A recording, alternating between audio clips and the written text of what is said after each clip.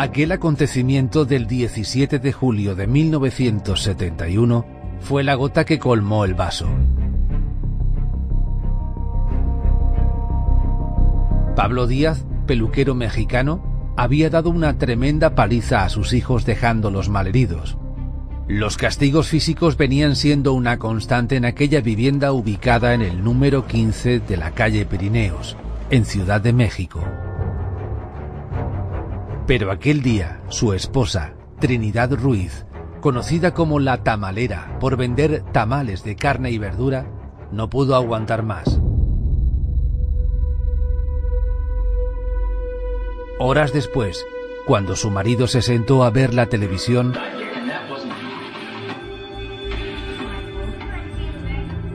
ella en un descuido le golpeó la cabeza con un bate de béisbol hasta que creyó haberlo matado.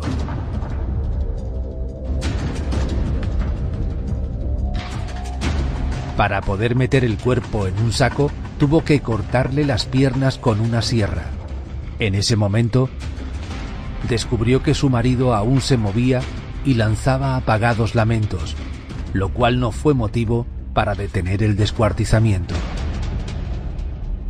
Antes de cerrar el saco, arrancó algunos pedazos de carne con los que fabricó tamales que vendió en los días siguientes. Hoy sus tamales quedaron mejor que nunca, ¿eh? Mm. Para esto de los tamales, mi vieja se pinta sola. Cierto, muy ¿O no? Muy rico. Mm. Riquísimo. Luego, abandonó el cadáver a las afueras de la barriada. Esta noche, abrimos los expedientes de dos mujeres, el de Trinidad Ruiz, alias La Tamalera, y el de la estadounidense Diane Downs, alias Lady Muerte, condenada por el asesinato de dos de sus hijos. En este caso, la justicia dictó sentencia sin que existieran pruebas directas del crimen, por lo que muchos investigadores aún sospechan que el auténtico asesino siguió en libertad.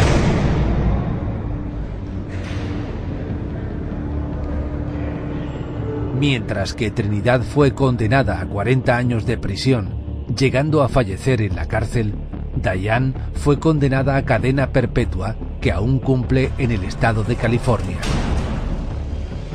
Ambas fueron tratadas por la ley como mujeres asesinas.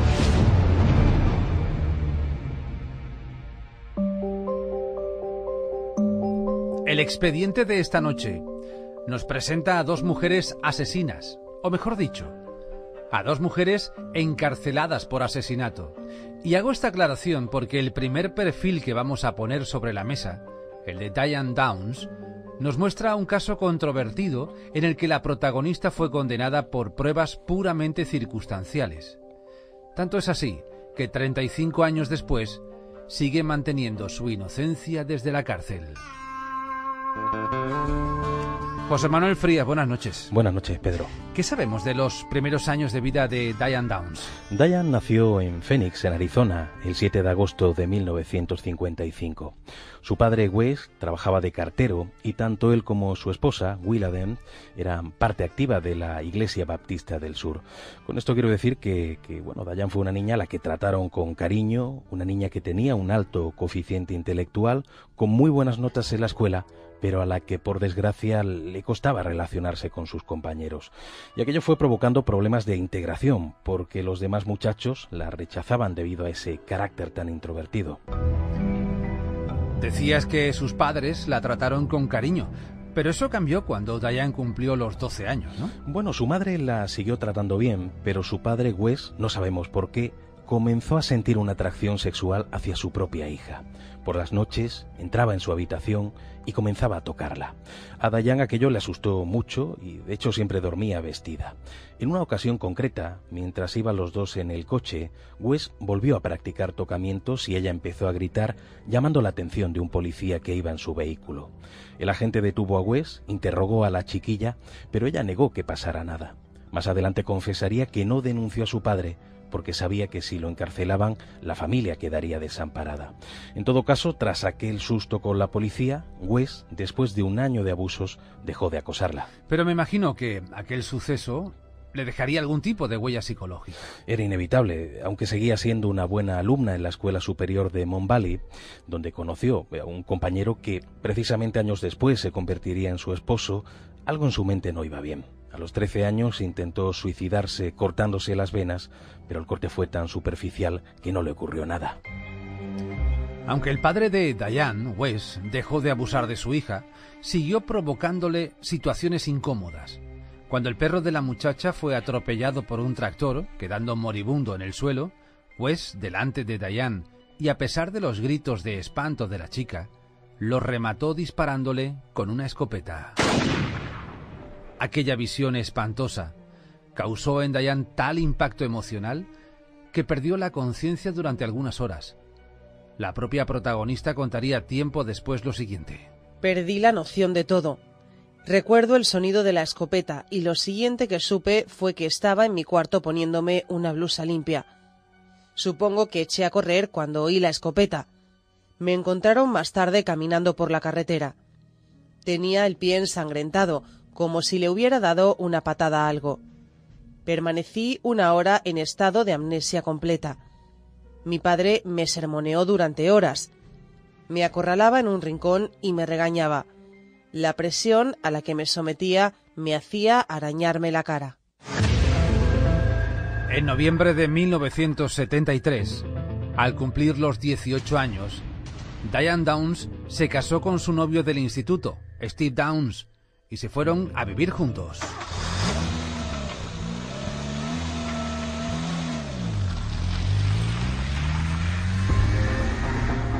¿Cómo le fue a nuestra protagonista en su papel de mujer casada? Pues la verdad es que no muy bien, porque Steve era muy mujeriego. De hecho, al mes de comenzar a vivir juntos, ya se buscó un amante, aunque, bueno, pasó eh, mucho tiempo estando con otras mujeres y además no lo ocultaba, hasta el punto de que en una ocasión obligó a Dayan a plancharle un pantalón para poder acudir elegante a una cita con otra mujer. A Steve eh, le gustaban las mujeres, pero no los niños. Exacto. eh, En cambio, Dayan estaba obsesionada con el hecho de ser madre y eso supuso otro golpe emocional para ella. Aún así, tomar la píldora, la píldora, se las ingenió para quedarse embarazada de su primera hija, Christiane. Aquello enfureció a Steve y lo convirtió en un hombre violento al que de vez en cuando se le iba la mano con su esposa. Ella explicó tiempo después cómo, en ocasiones, él la agarraba fuertemente del cuello, la zarandeaba y luego la lanzaba contra el suelo. No mucho tiempo después, en 1976, nacería una nueva hija, Cheryl Lynn. Ante aquel nuevo nacimiento, Steve decidió hacerse la vasectomía para evitar otras sorpresas, pero los médicos no realizaron correctamente la operación y al cabo de unos meses, Diane quedó de nuevo embarazada, siendo presionada por su esposo para que interrumpiera el proceso de gestación. La mujer obedeció, pero aquel suceso le afectó mucho a nivel emocional. A partir de ese momento, ante las constantes infidelidades de Steve, ella decidió tener varios amantes, quedando embarazada de uno de ellos. Aunque Steve se enteró de la verdad, acabó aceptando a aquel niño como si fuera suyo, recibiendo precisamente su mismo nombre, Steve Daniel. José Manuel, cuentan las crónicas de prensa que algo cambió en la vida de Diane a raíz de ver un programa de televisión. Fue en el año 1980 y se trataba de un programa sobre madres de alquiler.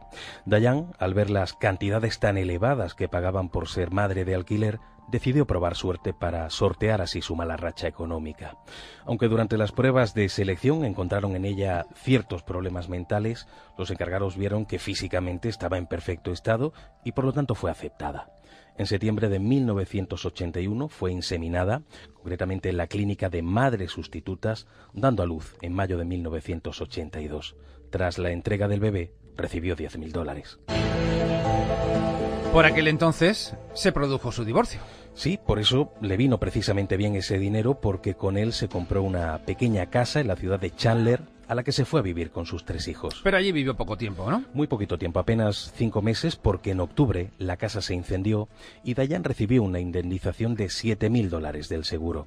Hay quien piensa que fue un incendio premeditado, aunque nunca se pudo demostrar. ¿Dónde se instaló Diane después de aquel incendio? Después se fue a vivir a Springfield. Allí parece que no cayó muy bien a sus vecinas porque Diane siguió coleccionando amantes y muchos de esos hombres eran hombres casados del municipio. A ellos parecía no molestarles el que nuestra protagonista fuera una mitómana, o sea que se inventara detalles de su vida para poder ser el centro de atención. El 19 de mayo de 1983 ocurrió la tragedia. Diane había ido a visitar a una amiga en la compañía de sus tres hijos. Luego, sobre las 21.40, los cuatro montaron en el vehículo de camino a casa.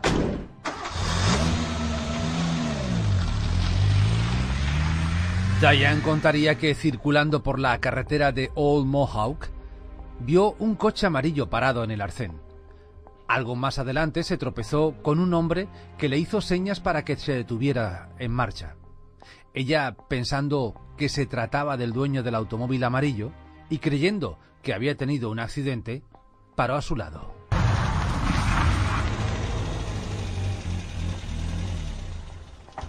Diane dijo que aquel señor tendría unos 30 años de edad.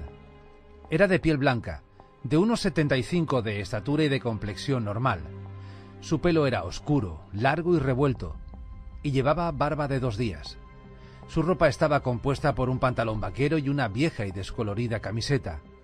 Diane contó que, de pronto, el hombre la amenazó con una pistola pidiéndole las llaves del coche. Alguien en la carretera me hizo señas para que parara. Me bajé y me dijo algo así como que quería mi coche. Yo empecé a reírme porque no me podía imaginar que esas cosas ocurrieran.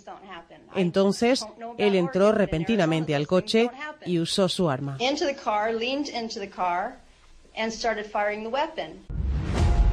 Al negarse, él introdujo su mano por la ventanilla disparando a los tres niños y luego pegándole un tiro a ella en un brazo que le causó una fractura. Diane logró huir, mientras se enrollaba una toalla en el brazo para evitar sangrar demasiado. Debido al dolor, condujo lentamente hasta el hospital más cercano. José Manuel, ¿hubo pruebas de que lo que Dayan contó era cierto? Hombre, no hubo pruebas porque no hubo testigos directos. Sí es cierto que durante su presunta huida, un coche anduvo detrás de ella hasta poder rebasarla. El conductor era Joseph Inman y en su declaración manifestó que Dayan efectivamente iba lenta, pero que al adelantarla no percibió nada normal en ella. Aparte de eso, existieron dos testimonios que mencionaban la presencia de un hombre con las características del presunto agresor de Dayan. Un conductor llamado John Hulse encontró un par de días más tarde un coche amarillo en una pista forestal del entorno y el inquilino que estaba dentro era parecido al descrito por nuestra protagonista. Y alguien así fue visto también por los vigilantes del club de golf de Springfield. Pero, ¿se tuvieron en cuenta los testimonios? No, fueron testimonios sobreseídos porque la policía consideraba que eran simples coincidencias y que todo era un montaje de Dayan, quien además habría conducido lentamente en su camino al hospital para provocar que sus hijos, si aún estaban vivos, tras esos disparos que ella misma les habría pegado, fallecieran. Pero esas sospechas llegarían más adelante. Cuando Diane llegó al hospital y contó rápidamente lo ocurrido, los médicos descubrieron que la pequeña Cheryl, que tenía dos disparos en la espada y sangre coagulada en la garganta, ya había fallecido, por lo que sus esfuerzos se centraron en Christy y Danny. Danny, aunque sobreviviría, había recibido un disparo en la columna vertebral, afectándole a la médula espinal y quedando parapléjico. La pequeña Christy también salió con vida. Presentaba dos disparos en el pecho. Su pronóstico era grave e incluso llegó a sufrir un paro cardíaco y diversas hemorragias internas. José Manuel, cuando la policía es avisada del suceso, ¿se intentó localizar al presunto agresor? Se, intentó al inicio, pero en ese momento no dieron con él y no se sabe por qué. Los agentes sospecharon de Dayan, le hicieron pruebas para encontrar eh, rastros en sus manos que demostraran que ella había sido quien disparó contra sus hijos, pero los resultados fueron negativos. Incluso se usó un detector de mentiras igualmente determinó que Dayan decía la verdad. Pero el fiscal estaba empeñado en creer que los disparos contra sus hijos había sido un plan urdido por la mujer para lograr que su marido volviera con ella. Por eso, aunque Dayan parecía afanada en buscar datos para dar con su supuesto agresor, la policía fijó la vista únicamente en ella intentando descubrir alguna incongruencia en su testimonio. Pero, por lo que cuentas, había razones para pensar que Diane decía la verdad. Muchas, había incluso muchos detalles, eh, ya hemos hablado de algunos, como por ejemplo los resultados positivos del detector de mentiras, el resultado de esa prueba de rastro de pólvora, y aparte quien pensó que si Diane quería matar a sus hijos, los hubiera rematado directamente o hubiera tardado más en llegar al hospital.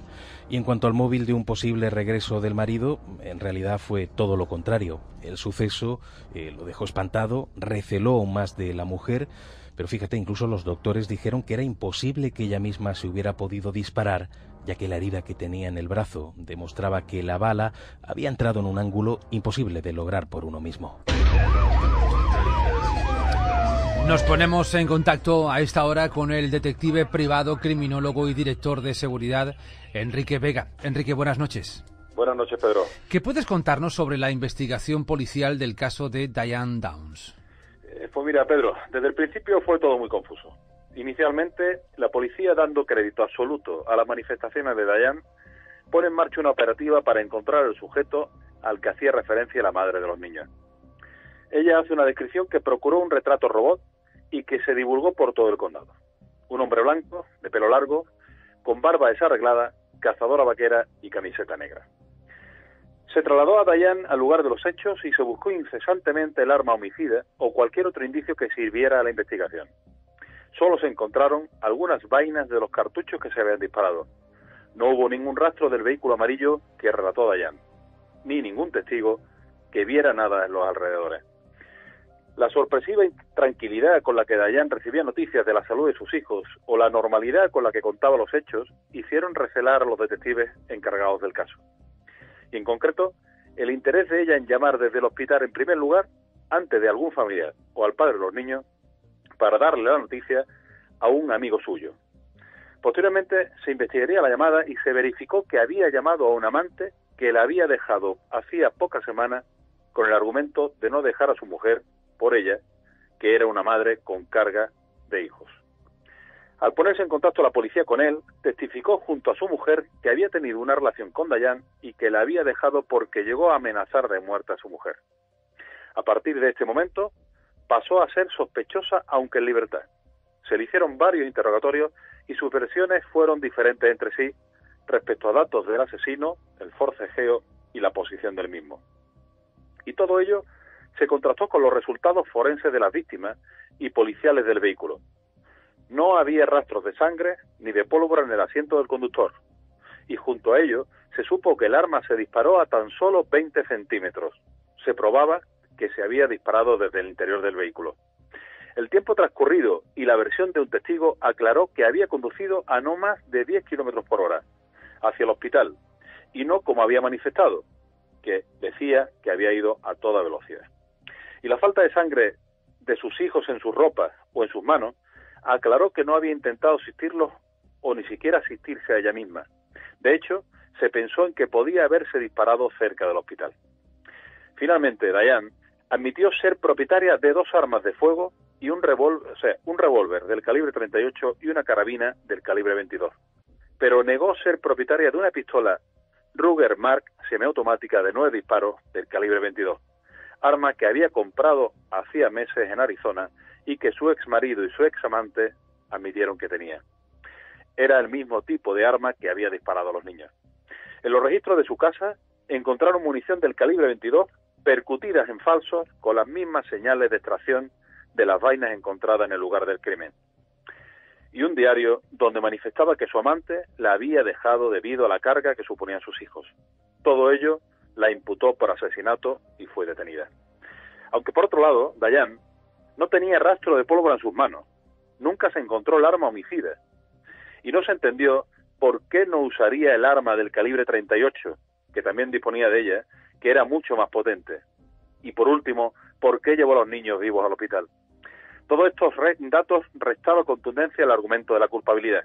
Y más aún, hace unos años, un conocido delincuente y traficante de droga coincidente en su aspecto descrito por Dayan, James Clare, confesó ser el autor del asesinato, algo que se descartó por falta de pruebas. Como anécdota te contaré, Pedro, que el padre de Dayan, aun habiendo sido acusado por su hija de violación, hoy mantiene una página web donde ofrece 100.000 dólares por información que libere a su hija de la cárcel. Como puedes comprobar, Pedro, es un caso que sigue completamente abierto. Está claro. Enrique Vega, gracias y hasta la semana que viene. A vosotros, buenas noches.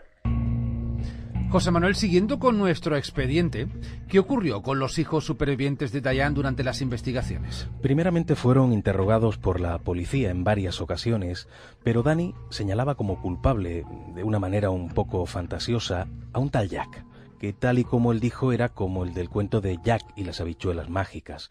Y Christine, al haber consumido en el hospital un fármaco que se llama Dilantil, había sufrido una pérdida de memoria que la empujó a no recordar absolutamente nada de lo sucedido. Mientras los medios de comunicación y la opinión pública parecían empatizar con Diane, ella aparecía en diversas entrevistas quejándose del trato que estaba recibiendo por parte de la justicia. No confesaré una cosa que no he hecho, no hay ninguna prueba. La policía tendría que estar buscando al hombre que me hirió. El sistema judicial está podrido, falseado, pervertido. Sacrificarán a cualquiera con tal de mantener las apariencias. No están buscando a quien lo hizo, que probablemente está ya fuera del Estado y ahora tienen que colgarle el muerto a alguien. Tras pasar Danny y Christie unas semanas en el hospital, el fiscal Fred Hughie logró quitarle la custodia de los niños a Dayan y los envió temporalmente al hogar de un matrimonio especializado en niños víctimas de violencia. El propio fiscal consiguió que un juez firmara una orden de alejamiento, por lo que la madre no pudo acercarse a ellos. Cuentan las crónicas que en aquella vivienda, Christie fue presionada para que culpabilizara a su madre de lo sucedido. Dicen que le construyeron recuerdos falsos y que la niña, cansada, terminó por declarar lo que el fiscal deseaba. José Manuel, ¿cómo transcurrió el juicio contra Diane Downs? Pues aún sin pruebas la acusaron de un asesinato y de dos intentos de homicidio, y ya por aquel entonces los medios de comunicación, rindiéndose a los datos que ofrecía la policía y todavía sin ningún tipo de prueba real, la apodaron como Lady Muerte. Durante el juicio subieron a la niña Christie al estrado para que ofreciera aquella declaración, según muchos, manipulada. José Manuel, el resultado del juicio que se inició a principios de 1984, ¿cuál fue? Dayan fue declarada culpable, condenada a cadena perpetua, pero ocurrió algo insólito. El juez sacó una botella de champán y lo festejó con el resto de su equipo, y dijo públicamente, el tribunal espera que la acusada no vuelva a estar jamás en libertad. He hecho todo lo posible porque así sea. Por aquel entonces, Diane estaba embarazada de un nuevo amante, tuvo una niña, Amo Elizabeth, concretamente el 27 de junio de 1984, pero como el padre renegó de la recién nacida, se la quitaron a su madre para darla en adopción. La noticia saltó a los medios de comunicación unos años después. Un hombre llamado James Clare Haynes confesó haber sido el agresor de Diane y de sus hijos, James era muy similar al retrato robot del agresor. Contaba con un amplio historial delictivo y el día posterior al tiroteo había confesado a un amigo haber sido él quien había disparado contra aquella familia.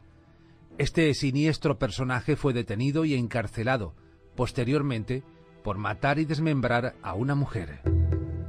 José Manuel, hay un dato que me cuesta creer. ¿Es cierto que el fiscal del juicio contra Diane, Fred Hughie, logró quedarse en adopción con los dos hijos de nuestra protagonista. Sí, aunque parezca insólito, es totalmente cierto. Él logró la custodia y por lo tanto prohibió el contacto de los niños con su familia biológica, hasta el punto de que el abuelo de Danny de Christie inició una campaña para intentar recuperarlos. A esta hora abrimos las puertas del juzgado y nos encontramos con el juez Bernardo Pinazo. Muy buenas noches. ¿Qué tal? Buenas noches, Pedro. ¿Cómo estás? Muy bien. ¿Qué puedes aportar a nivel judicial sobre el caso que estamos tratando? Pues mira, creo que sería útil referirse pues a las dudas surgidas y sobre la posibilidad de revisar sentencias que ya son firmes y lo que tiene lugar por medio de un recurso que se llama de revisión. Este recurso es un recurso penal de carácter muy extraordinario con el fin de revisar una causa que ya está cerrada y cuando se dan diversas eh, circunstancias. Estas pues pueden enumerarse como cuando haya sido condenada una persona en una sentencia penal firme que, que haya valorado como prueba un documento o un testimonio que después son declarados falsos, que la confesión del encausado pues se arranca por violencia o coacción y que en definitiva cuando haya recaído sentencia eh, por medio del cual el condenado ha sido realizado por medio de una prevaricación de los jueces y de los magistrados que enjuiciaron el, el, juicio y después eh, por medio de una sentencia así se declara, cuando sobre el mismo hecho y el encausado hayan recaído dos sentencias firmes, esto es, que haya confusión, cuando después de la sentencia pues sobrevenga al conocimiento de hechos o elementos de prueba que de haber sido aportados en su momento pues hubieran determinado la solución o cuando menos una condena menos grave y que será motivo siempre de revisión de la sentencia cuando exista contradicción entre los hechos probados en, dos sentencias. También, eh, que eso es relativamente eh, cercano, puede solicitarse la revisión cuando el Tribunal Europeo de Derechos Humanos pues haya declarado que, dicha resolución fue dictada por medio de una violación o de alguno de los derechos reconocidos en el Convenio Europeo de Derechos Fundamentales y que está muy de moda. Por lo tanto, pues las sentencias firmes eh, no lo son o son no lo son tantos siempre que tengan una posibilidad de recurso extraordinario de revisión y que pueden verse anuladas, como por ejemplo el caso de esta noche.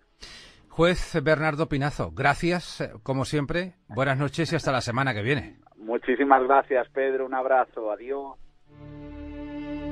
Años después, la hija de Diane Christie, ahora convertida en una adolescente, reconoció que no sabía quién le había disparado y que durante el juicio dijo aquello que le empujaron a decir.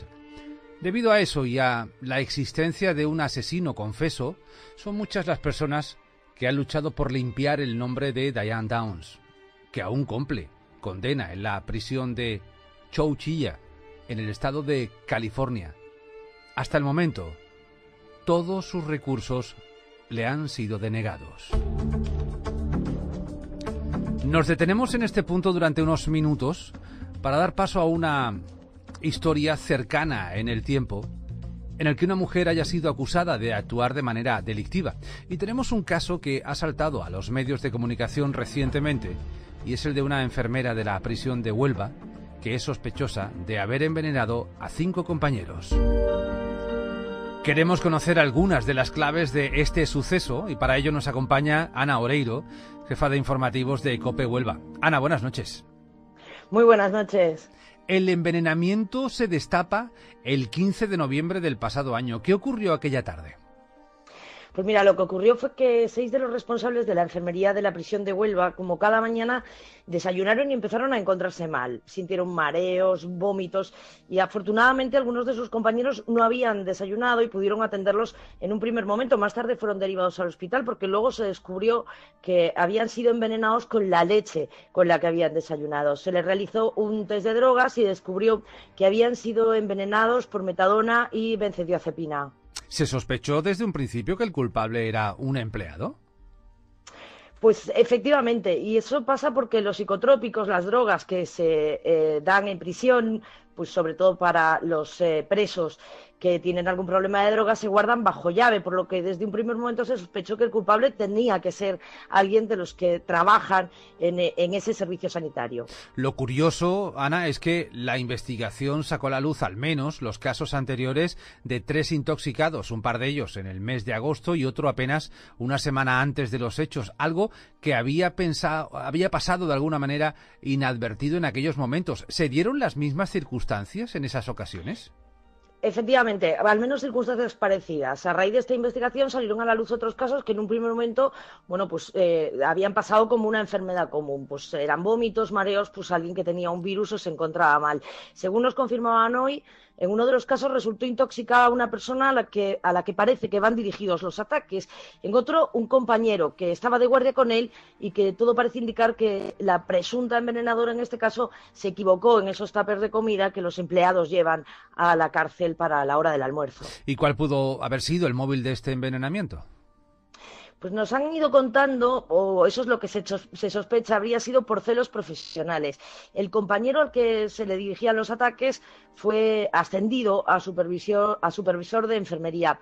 Lo raro es que, según nos confirman, este ascenso apenas supone unos 30 euros al mes. Y además también, según nos contaban, la presunta envenenadora en este caso es una mujer afable, tiene hijos y sorprendió bastante la reacción que tuvo, la verdad, a pesar de que todo el mundo conocía, bueno, pues que no había muy buenas relaciones dentro de este servicio de la prisión onubense. Actualmente, ¿cuál es el estado del proceso judicial? Pues eh, la sospechosa está en libertad con cargos, tiene la obligación de comparecer ante la justicia los días 1 y 15 de cada mes y está imputada por un delito de lesiones y contra la salud pública. Por cierto, ¿se recuperaron bien los afectados por el veneno? Pues mira, te puedo contar que físicamente sí, pero los seis afectados por el veneno continúan de baja. La situación eh, de enfermería ya era mala por falta de personal y ahora es absolutamente un caos. Hoy nos lo podían denunciar eh, los propios sindicatos de la prisión onubense. Estos seis funcionarios están muy tocados psicológicamente y aún no se han reincorporado a su puesto de trabajo. Ana Oreiro, Oreiro gracias por estar con nosotros y buenas noches. Un abrazo, buenas noches. Vamos a pasar del perfil de una mujer, Diane Downs, de la que nunca se supo con pruebas objetivas si fue una asesina, al perfil de una mujer a la que todas las pruebas la apuntaban como una criminal sin escrúpulos. Trinidad Ruiz, conocida popularmente como la tamalera. ¿Usted ha visto un cadáver? Sí. Cambian, ¿no? Tienen otro color, hasta otra cara. Dejan de ser personas. ¿Y en qué se convierten? En animales cocinados. Por ejemplo, hay gente que es como animal. Viven como animales, sienten como animales y se mueren como animales chillando en el rastro. José Manuel, vamos a comenzar esta vez por el final de la historia, que sucedió el 19 de julio de 1971 en la colonia Justo Sierra en Ciudad de México. Aquel día los vecinos de la calle Sur 71A, concretamente los que habitaban en las cercanías de la casa 508, comenzaron a notar en el aire un olor pestilente que parecía provenir de aquel terreno. Pero claro, al ser una zona de granjas, eh, de granjas quiero decir abandonadas, llegaron a pensar que se trataba de animales en descomposición. Por eso, cuando el encargado de la limpieza de ese entorno pasó por allí, los vecinos le dijeron que echara un vistazo, por si tenía que recoger alguna materia en descomposición. ¿Llegó a descubrir de dónde procedía el olor? Sí, tapándose la nariz ante el olor putrefacto, lo localizó concretamente en un enorme saco que estaba tirado entre la maleza. En él se leía conasupo, maíz y frijol, capacidad 90 kilogramos. Cuando se agachó vio que el fardo estaba completamente cosido, lo tocó por encima, esperando notar al otro lado de la tela pues el cuerpo de una gallina o algo parecido, pero aunque no supo con seguridad lo que era, la intuición le hizo pensar que algo iba mal y llamó a la policía. Bueno, ¿y qué encontraron los agentes? Los agentes, con los rostros cubiertos para evitar la pestilencia, abrieron con una navaja el saco y apareció lo que nunca hubieran imaginado, un pie humano, un pie humano con un calcetín. Ante una situación así avisaron a sus superiores y cuando llegaron abrieron de todo el fardo encontrando dentro un cuerpo descuartizado, eso sí, sin cabeza. La cabeza no apareció en aquel momento por ningún lugar. Después de tomar las huellas al cadáver, lo trasladaron al servicio médico forense. Los datos sobre la identidad de aquel cuerpo no tardaron en llegar. Su nombre, Pablo Díaz, un peluquero de 53 años. Un hombre fichado por la policía debido a diferentes altercados por delitos de lesiones y por abusos a menores. Los forenses indicaron que Pablo había sido atacado con dos armas, una sierra y un hacha, y que las piernas le habían sido cortadas mientras estaba vivo. Aquí lo interesante del caso está en el corte. Fíjate, Isabel, cualquier otra persona le hubiera dado un machetazo así nomás. Sin embargo, aquí el corte del hueso se ve que está hecho con mucho cuidadito. ¿Cómo que le sabía? ¿Mm? Doctor Trejo, ¿quiere que tome unas fotos del tórax? Aquí está el cadáver, ¿no? Si quieres tomo las fotos yo, Camacho. No, no, no, ese es mi trabajo. Las palabras de uno de los peritos dejaron asombrados a los medios de comunicación. Es la primera vez que veo un asesinato como este. Los judíos y aztecas los practicaban para castigar el homicidio, el robo y el adulterio. Y qué paciencia la de los verdugos para cerrarles las piernas. José Manuel, ¿cómo enfocaron los agentes la investigación? Una vez que la víctima fue identificada, acudieron al domicilio que tenían en la base de datos, pero Pablo ya no vivía allí. Aún así, los vecinos pudieron darle su nueva ubicación, incluso le indicaron que él estaba casado con Trinidad Ruiz, ella era conocida como la tamalera porque era una vendedora ambulante de, tamales, de esa especie de empanadas rellenas de carne y verdura. El matrimonio, matrimonio vivía en la calle Portales, concretamente en el número 15, eh, aunque la tamalera vendía sus productos en plena calle Emiliano Zapata. ¿Qué ocurrió cuando los agentes llegaron a esa vivienda?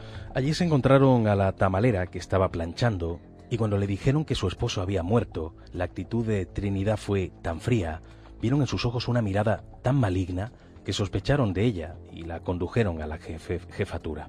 Aunque al ser interrogada la mujer dijo que Pablo tenía muchos enemigos y que por lo tanto cualquiera de ellos podía haberlo matado, poco a poco se fue soltando y comenzó a narrar las desavenencias que tenía con él.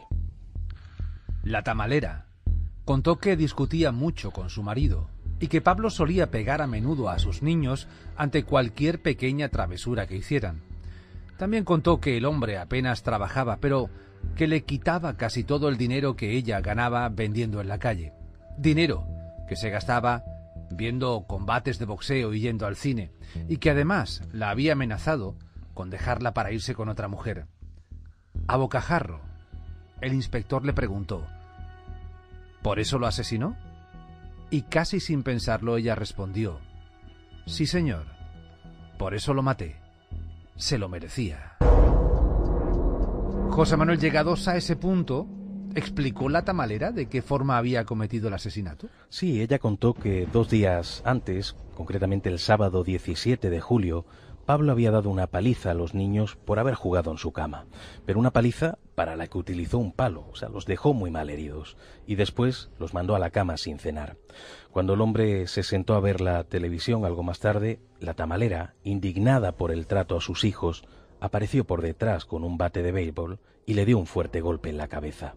Al ver que aún se movía, le dio otros dos golpes hasta que ella creyó que estaba muerto. Asustada, quiso deshacerse de alguna manera del cuerpo, para evitar que fuera descubierto. La mujer encontró en la casa un saco de tela grande, de Conasupo, la Compañía Nacional de Subsistencias Populares, e intentó meter el cuerpo dentro. Pero al ver que no cabía bien, es cuando pensó en cortarlo en trozos. En ese momento, fue a por un hacha y una sierra y empezó a cortar las piernas.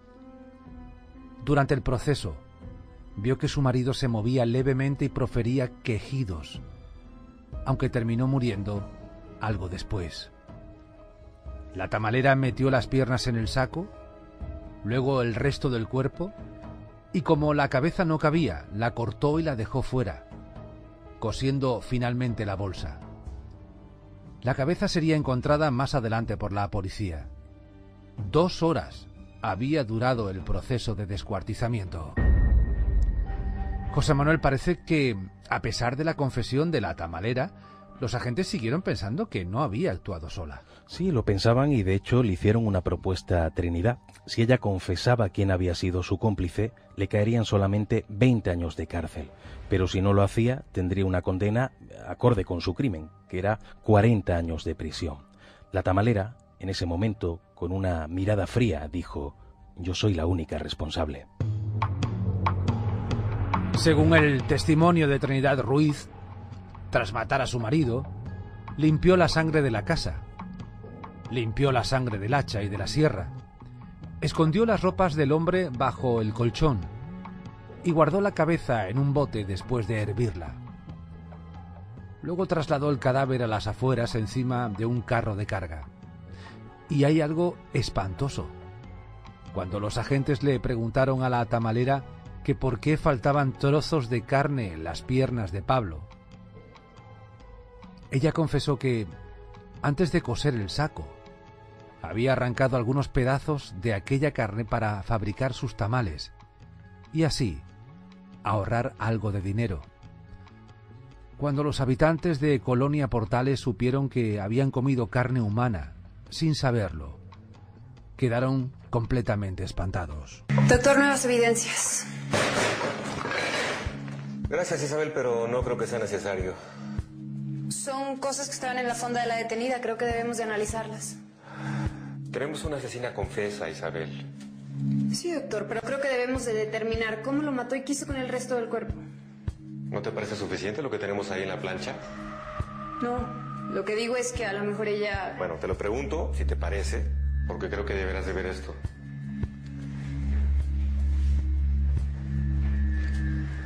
¿Y qué es eso? El análisis histológico de la carne con la que estaban hechos los tamales. José Manuel, ¿cómo transcurrió el juicio contra la tamalera? Trinidad fue acusada de homicidio, de profanación de cadáver y de inhumación clandestina. La mujer delante del juez mostró arrepentimiento por su crimen, aunque dijo que había actuado así pensando en el maltrato que Pablo infligía a sus hijos. Después de dos años de juicio, la tamalera fue condenada por homicidio con premeditación, alevosía, ventaja y traición a 40 años de cárcel. Dicen los que estaban presentes que su rostro fue impasible al recibir la condena. Cuando la trasladaron a prisión, fue recluida junto a las presas con enfermedades mentales, al considerarse que tenía algún tipo de trastorno psicológico. Sus hijos fueron enviados a una casa de protección. A esta hora nos adentramos en el gabinete de psicología de Ángela Wall. Ángela, buenas noches. Hola, buenas noches. ¿Qué nos puedes contar sobre el perfil psicológico de la tamalera? Bueno, pues veréis, en esta ocasión parece que la, asesinó, que la asesina actúa así pues por mera desesperación, es decir, por tratar de acabar con un problema para el cual sinceramente no tiene recursos más funcionales. Parece también que no existe apenas premeditación, es decir, que actúa por impulsos, guiados por fuertes emociones de rabia e impotencia que la embargan pues hasta la saturación de sus capacidades cognitivas. Vemos cómo golpea al marido con un bate de béisbol. En un principio, para una mujer se puede complicar la, cosa, digamos, si no, si no da los golpes certeros y con la potencia adecuada, que de hecho es lo que ocurre al final.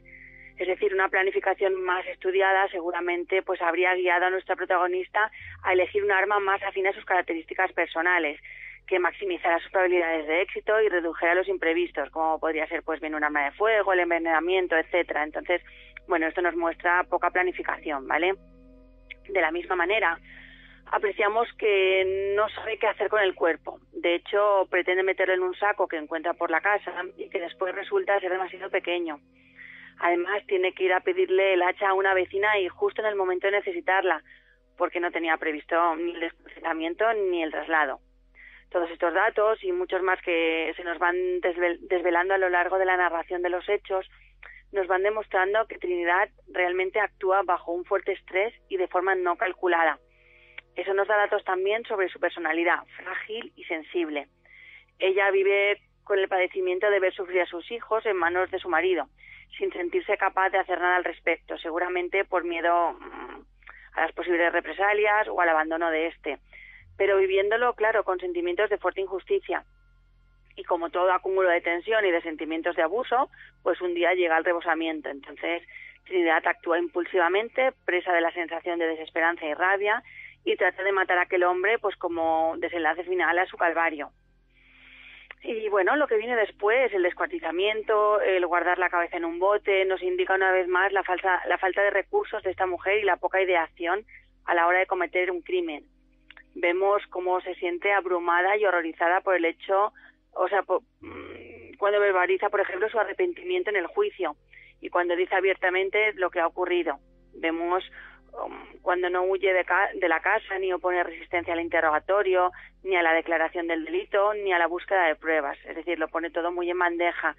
Y en parte es para mitigar también un poco los sentimientos de culpa y remordimientos que siente por, por lo acontecido. En definitiva, en este caso, pues no vemos a una psicópata, ¿no? Con intereses perversos y egoístas, sino casi todo lo contrario, diríamos que una neurótica descontrolada, es decir, una mujer que se deja llevar por sus emociones y sentimientos, mm, realizando un acto presa del pánico y de la ira del mismo momento. Si bien es cierto, además, ah, perdona, si bien es cierto que además describe a una persona que se contiene como intento de solución repetida en el tiempo, es decir, Su inseguridad y su falta de percepción de la valía personal le impiden defender a su prole y hacer frente al enemigo. Dentro de ella se produce y acrementa un odio y un sentimiento de inadecuación, de mediocridad por permitir mm, a lo que va contra natura por parte de una madre que termina por explotar como un volcán en plena erupción absolutamente imposible de moderar. Que se arrepienta o no ya es otro debate, ya que ella pretende hacer un mal para evitar un mal mayor y sus hijos parece que ser que son lo más importante. Así que posiblemente el sacrificio le vale la pena, eso ya no lo podemos saber. Ángela Wall, gracias, buenas noches y hasta la semana que viene. Buenas noches, gracias a vosotros. En la cárcel, Trinidad Ruiz nunca habló con nadie.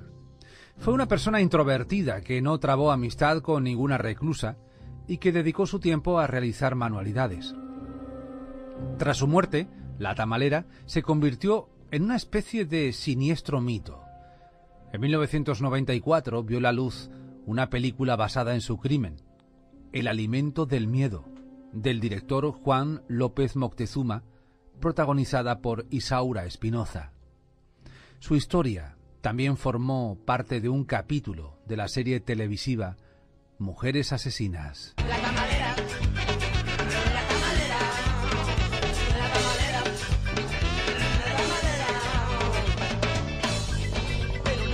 También en 2004, el grupo de rock mexicano Las Víctimas del Doctor Cerebro dedicó una canción a la famosa asesina. La estamos escuchando de fondo y lleva por título, como no podía ser menos, La Tamalera. José Manuel Frías, como siempre, gracias, buenas noches y hasta la semana que viene. Gracias, buenas noches.